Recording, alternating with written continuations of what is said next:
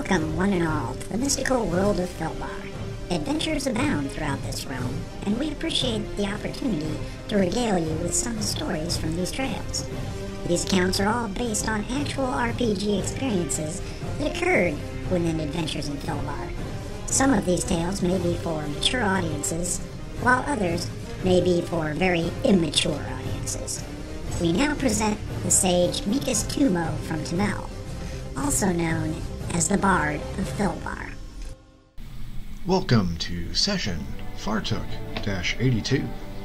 In our previous episode, the adventurers found themselves in the middle of a large street celebration with miners and citizens alike. The ale flowed freely, and a band played well into the early morning, causing a festival like atmosphere that was enjoyed by all. We rejoin the party the next morning as Karina wakes up to some loud squawking by Peepers the Axebeak. Blinking her eyes, the waif quickly realized that her pet was upset and rushed to the window to check on it. Looking out into the morning sun, she observed that Peepers was secured to a post and Eddie, the stable boy, was outside the corral. The crippled boy was surrounded by some larger teenage boys who were obviously picking on him. Hastily getting dressed, Karina ran down the stairs to confront the bullies. Knock it off, boys, yelled the waif.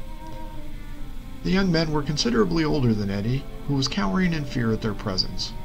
Trying to crawl over to Karina, he was blocked by an older youth who decided to square off with the young woman. Facing off with Karina, the indignant youth challenged her position. Putting her hands on her hips, she glared at the young man. Well, lady, what are you going to do about it? I asked if you wanted to fight, snarled the bully. Karina disarmed the boy with a crooked smile and a soft voice, her reply caught the young man off guard and tipped the balance of power back to her favor. Fight you? she laughed. Boy, I've braved tombs and orc packs. Dealing with you will garner me no benefit. No, I will not be fighting you. Tossing her head to Eddie, she pointed out that he would be fighting the street tough. The group laughed hysterically as Eddie grew even more frightened. Sure, lady, Eddie here is real tough. He's going to protect your honor, said the boy in a mocking tone. Karina nodded her head and helped Eddie up as the street tough took off his shirt and spit in his hands, taunting Eddie with some well described sentences at the beating that was about to ensue.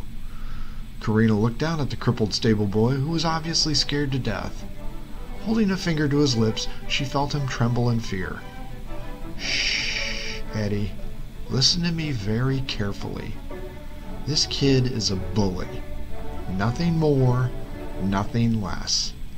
And the thing about a bully is, once you beat him, and I mean really badly, they will never bother you again.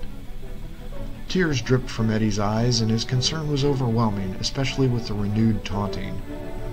Karina locked eye contact with him and pointed out that she and Peepers would be right here if he was and he was in no danger. In a hushed tone, she pointed out one sure trick that always worked for her. Quickly explaining it to him, the boy shook his head in acknowledgement and started to question the plan. She pinched his lips shut with her fingers and said, Trust me. Do what I told you and you'll be fine.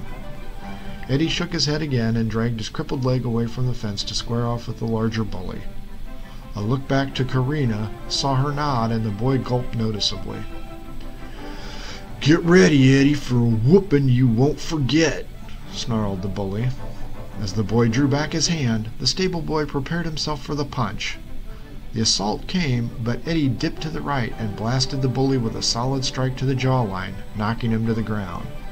The stable boy then began a severe pummeling as the bully's friends stepped up to assist their associate. A shrill whistle from Karina caused Peepers to yank the post out of the ground and charge the fence line. The power of the bird caused the rest of the boys to flee in fear, and Karina pulled Eddie off his battered opponent.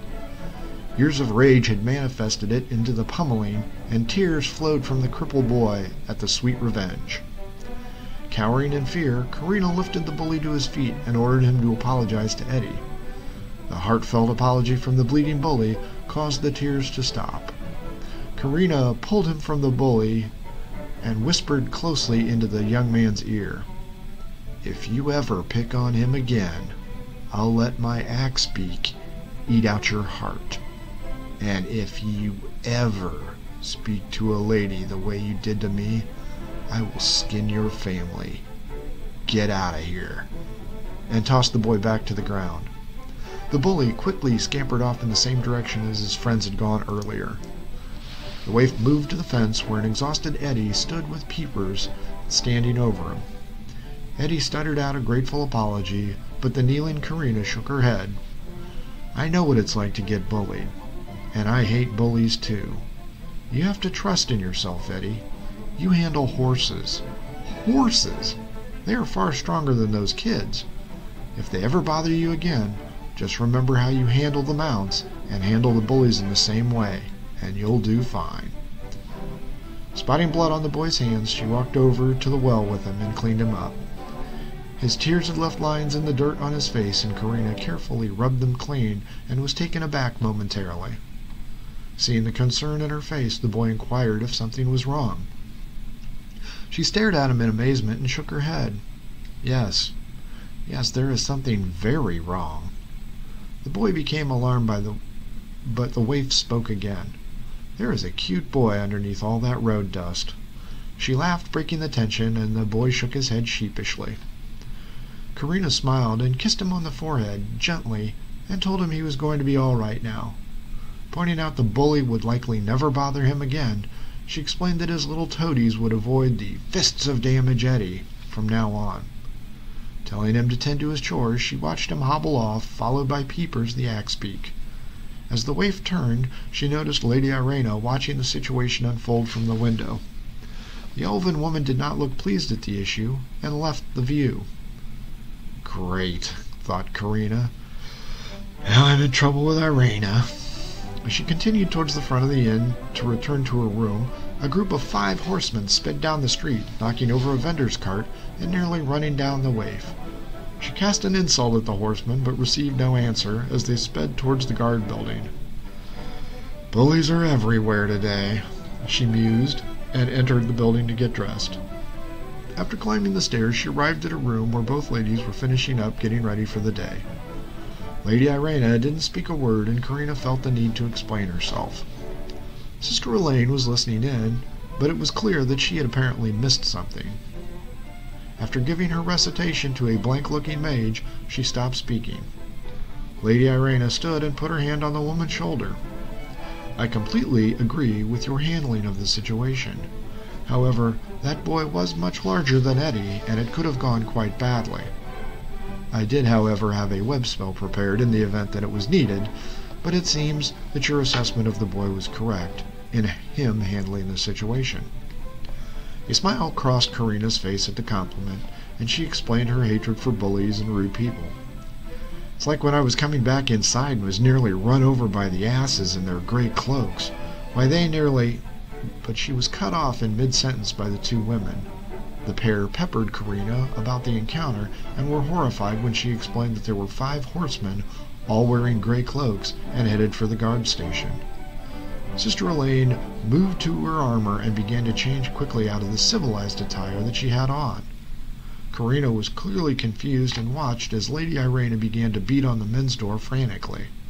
As the waif watched, the cleric donned her armor and she inquired if she should get on hers. Sister Elaine pointed out yes, adding, fast, as if your life depended on it. We close out this episode now and give you our thanks for listening. Please subscribe to this podcast and don't forget to follow us on Twitter at The Bards Podcast. For everyone in Adventures of Filbar, thanks for listening.